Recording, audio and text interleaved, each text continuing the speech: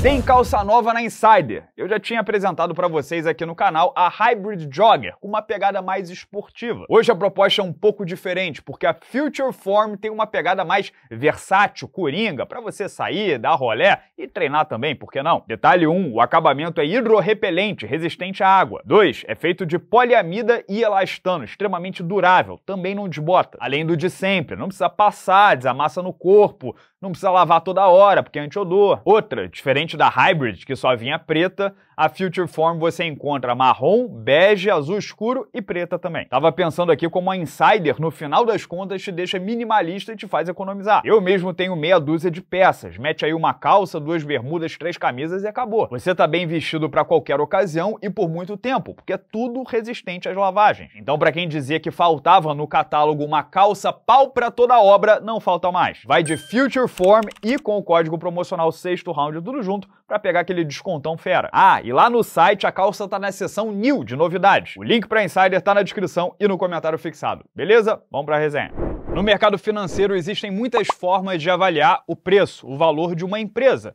E uma delas é a pura e simples comparação com um concorrente do setor. Por exemplo, imagina que o sexto round vai abrir capital, vencer ações na bolsa para captar uma grana e poder expandir. Aí na hora de fazer a precificação, os bancos vão lá e comparam o sexto round com outros canais do YouTube, outras empresas de mídia. Tipo, se o canal do Whindersson Nunes vale 10 reais, o meu de repente vale 10 centavos. Entenderam, né? O meu ponto é que se fizermos o valuation do Caio Borralho baseado na atuação de ontem contra o Jared Cannonier, Россия temos em mãos um futuro campeão do mundo. Porque no peso médio, nem o Israel Adesanya, nem o Robert Whittaker, nem o Sean Strickland, nem o Nasurdini Mavov mais recentemente fizeram com o gorila assassino o que o brasileiro fez. Beleza, Cannonier tá com 40 anos e a quilometragem de todas essas jornadas acumulou. Ainda assim, dando um desconto, Strickland perdeu e Mavov estava perdendo, Whittaker passou raspando por 2 a 1 com o Cannonier de braço quebrado e o Adesanya, a estratégia dele foi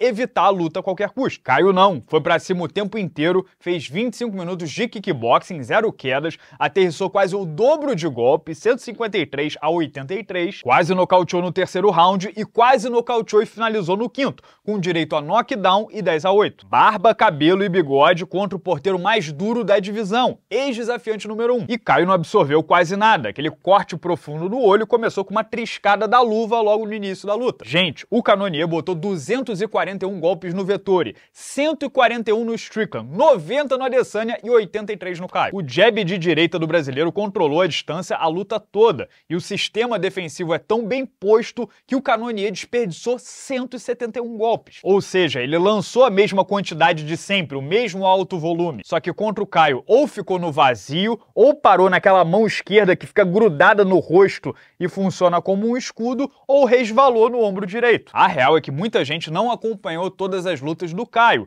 e estava achando que se tratava de um grappler unidimensional, que bota para baixo e trava. Ontem tomaram um susto, porque o boxe dele é incrível. A gente também viu ontem chute baixo, derrubando o Canonier, chute alto, machucando. Ele é bom de quedas também. A opção por elas em algumas rodadas foi porque era mais inteligente. Caminho de menor resistência. Aí ontem, quando precisou, porque botar o Canonier para baixo é complicado, trocou porrada com um ex-peso pesado poderoso de boa. Então, Caio é um lutador completo. Depois da melhor atuação da carreira, que ainda rendeu bônus, ele vai assumir a quinta posição no ranking até 84 quilos na próxima terça. E com sete vitórias seguidas, a segunda maior sequência da categoria, atrás apenas do campeão Dricos Duplessis, que tem oito, é de se imaginar que Caio está apenas a uma vitória de disputar o cinturão. Ou seja, o primeiro nerd da Fighting Nerd chegou, e com apenas 31 anos. Aliás, falando da equipe, somando Borralho, Carlos Prates, Jean Silva e Rufi, os caras estão 14-0 no UFC. Sinistro. Tudo muito bom, muito bonito, mas agora vem aquela parte em que a galera odeia, fala que eu sou chato pra cacete e tal. Vamos lá. No octógono, depois de tirar a onda, Caio mirou alto no campeão, Dricos Duplessis, o que via de regra não é ruim. Só que dada a conjuntura, a situação da categoria foi um tiro na água, gasto à toa. De novo, compreensível. Caio faz bastante o trabalho de visualização, projetar o encontro com o melhor do mundo.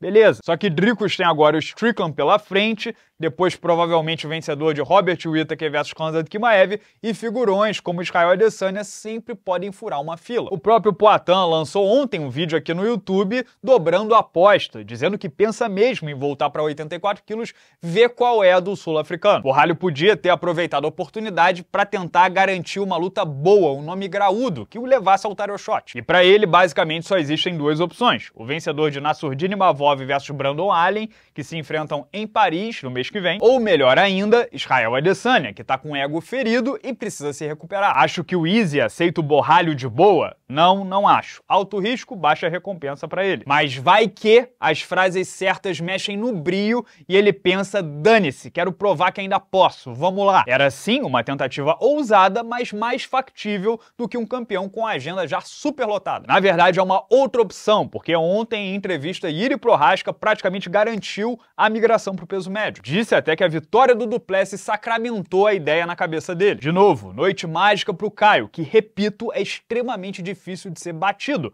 porque tem um menu completo de golpes e é defensivamente brilhante, estratégico, estudioso. Ontem ele provou que está na primeira prateleira, pode competir de igual para igual com aquele grupinho dos três ou quatro melhores. E pelos intercâmbios que fez mundo afora, aliás, Caio conhece intimamente Hanzat Kimaev e Sean Strickland. Se vai ser campeão ou não, não sei. É noite, estratégia, encaixe específico. O meu ponto é que ontem mostrou que não é mais sonho distante dá para acreditar. Falando em troca de guarda, também fiquei muito impressionado com o fenômeno equatoriano Mikael Morales, de apenas 25 aninhos. Porque o moleque pegou o primeiro ranqueado, logo o New Magni, porteiro casca grossa, que já barrou uma galera, já venceu três ex-campeões e o tirou para comer diante. Se livrou do clinch do coroa com uma cotovelada giratória de costas de rara felicidade, knockdown, ground, ground and pound violento e fim de papo no primeiro round. Nem suou. Eu não lembro do New Magni ter sido tratado tratado dessa forma. Talvez pelo Durinho dos Anjos, que foram 100% pelo caminho do jiu-jitsu.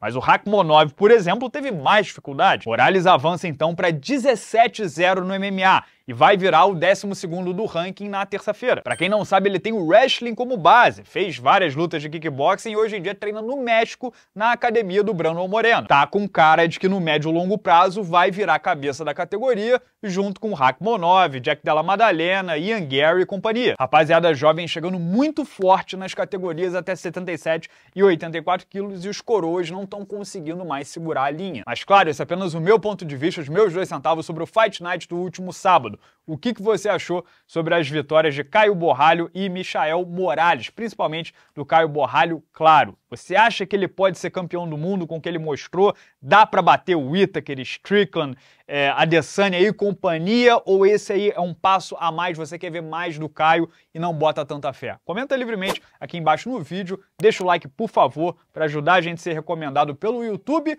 e não perde a última resenha, a resenha de ontem, eu subi ontem à noite, que foi sobre a polêmica fala de Renan Problema é, na coletiva de imprensa da PFL se referindo a Francis Engano, uma fala que deixou muita gente abalada, outras pessoas acharam que não foi nada demais, e eu deixo os meus dois centavos, é só clicar no link aqui do lado. Grande abraço a todos, obrigado pela audiência de sempre e até amanhã.